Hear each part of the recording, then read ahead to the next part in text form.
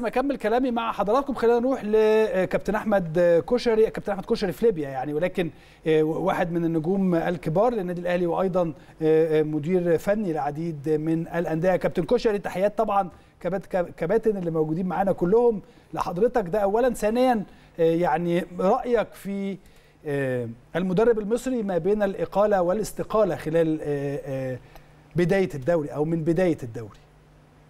حبيبي يا كابتن اسلام بمسي عليك وتحياتي للمجموعة الكبيرة الجميلة اللي موجودة معاك الكابتن محمد حشيش والأستاذ عصام سلفوت حبيبي يا كابتن كشري ناصر وأبو علي يعني أنت مجمع الحبايب كلهم. حبيبي ربنا يخليك حبيبي ربنا يخليك. حبيبي يا كابتن حشيش الله يخليك كابتن اتفضل اتفضل يا كابتن كشري آه طبعا أنا عايز أتكلم في الجزئية برضه اللي كنتوا بتتكلموا فيها يا كابتن اتفضل. لأن يعني آه يعني عليك من الموضوع ده يمكن أنا خدت الرخصة ال C وال B اول أول دورتين في مصر اتعمل أنا خدتهم كنت ماسك منتخب جيبوتي. جيبوتي وبعدين خدت الرخصة ال A من 10 سنين يعني أنا واخدها من 10 سنين من 2014 ياه آه. آه يعني معايا من 2014 أيوه. ومع ذلك كان بيجي لي أندية في دول الخليج وفي دول شرق أو دول آسيا ولكن كانوا بيشترطوا إن أنت تاخد الرخصة دي رغم إن أنا قعدت 45 يوم من الساعة 8 الصبح لحد الساعة 4 كل يوم. كل يوم آه بحضر الدورة دي فدورة كانت كبيرة وعدد ساعتها كبيرة إلا إن فوجئنا إن هي لازم ليها معادلة من الاتحاد هو ده اللي أتكلم عليه على فكرة الراجل في آه اتفضل يا كابتن كشري ده عطلني في في في بعض الأندية اللي جات لي وكانوا بيطلبوا أحيانا الرخصة الايه فكان بيطلب معادلة. وأنا بقالي فترة يعني بسعى لدي بس مش معقول دولة بحجم مصر يا كابتن إسلام إن ما يبقاش عندنا يعني معمول عندنا الرخصة الأفريقية اللي هو الاتحاد الأفريقي عندنا واطلع اخدها مثلا من من الإمارات ولا من العراق ولا اخدها من عمان يعني مصر يعني أو أفريقيا فيها بلدنا كبيرة.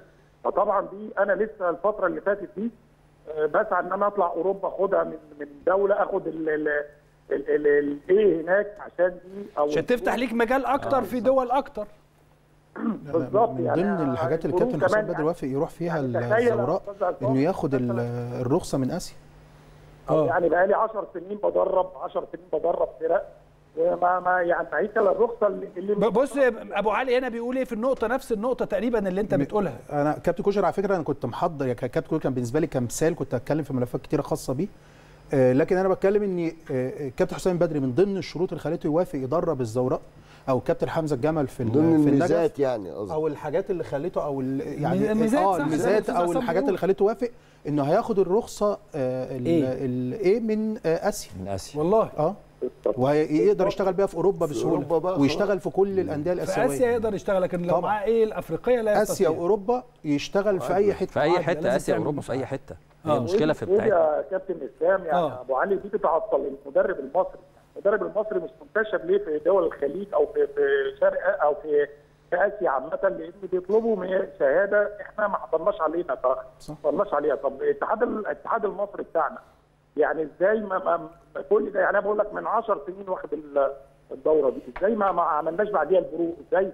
ما عدلناهاش مثلا يعني مش فاضيين بص تلاقي دي تيجي فده طبعا بيأخر جدا الكرة المصرية بيأخر المدرب المصري ما بيخليش ليك تواجد تلاقي في كل بلد. يعني أنا متواجد حاليا في ليبيا بدرب نادي الصقور المدربين التوانسة منتشرين هنا في ليبيا في ليبيا ومنتشرين في الخليج عشان معاهم الرخص دي. أنت معكش الرخص دي. فدي مشكلة برضه بتخلي المدرب المصري ما بيخرجش وما بيتطورش وما بياخدش خبرات. فطبعا يعني دي, دي يسأل فيها. عندك حل لهذه المشكلة تقدر تقوله لنا يا كابتن كشري قبل ما نقفل؟ والله طبعا إن يتعمل لازم الاتحاد المصري يعمل لنا دورة معترف بيها ويبقى ربط بينه وبين الاتحادات الأخرى يعني ما تبقاش أنت جايب يعني خبراء هنا افارقه ومش معترف بيهم. يعني أنا ذنبي إيه مثلا؟ قلت لك إن أنا باخد الدورات دي ده أنا واخدها وأنا بدرب منتخب جيبوتي ساعتها. يعني ف...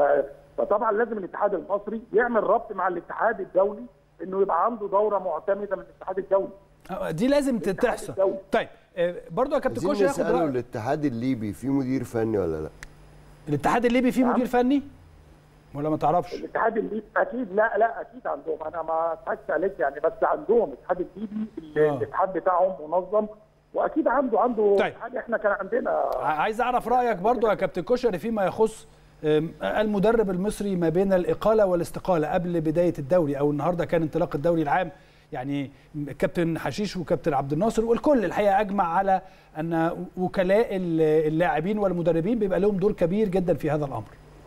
والله الكلام الكلام يعني طبعا آه كلام مظبوط أنت عارف النهارده آه يعني أنا اللي خلاني مثلا أخرج وأتكلم كابتن عبد الناصر ومدربين كتير تخرج لأن الأمور بقت بتدار بطريقة مش يعني تلاقي النهارده بقى في وكلاء لاعبين مسيطرين على النادي وعلى رئيس النادي. آه أنا عاصرتها في نادي بدون ذكر أسماء لا مسيطر يعني هو كل حاجة في رؤساء أندية بيخلصوا صفقات في مكاتب الوكلاء الكلام ده مش كويس يعني الكلام ده يعني بيأخر الكرة المصرية وكمان حتة الاقاله أو النهارده أنت ما فيش معايير لاختيار المدرب فبالتالي ما فيش معايير لأن أنت تخليه في النادي أو تمشيه. تبص تلاقي مدرب شغال معاك ماشي كويس بتقيله مش على هواك بتقيله ومدرب ثاني ممكن نتائج مش كويسة. يستمر معاك وتلاقي مدرب بيخرج من النادي ممكن ما يكونش نجح فيه تلاقيه راح نادي أكبر. راح نادي أكبر. فما عندناش معايير. أنا نفسي يبقوا زي الدول اللي, اللي سبقتنا المغرب. أنا شايف إن المغرب سبقتنا في التنظيم وفي في, في أسلوبهم في, في إدارة الملف بتاعهم أيوه. على مستوى الدوري. أكيد. يعني يبقى في مدرب مدرب واحد بس من خارج النادي. يعني أنت لو جبت مدرب ومشي من عندك مالكش إلا مدرب تاني. عشان تقدر إن أنت يعني آه اللوائح والقوانين اللي كابتن عبد الناصر اتكلم عنها. أنا بشكرك جدا يا كابتن كشري على وجودك معانا نجم الكبير كابتن أحمد كشري. والحقيقة برضه في إطار هذا الأمر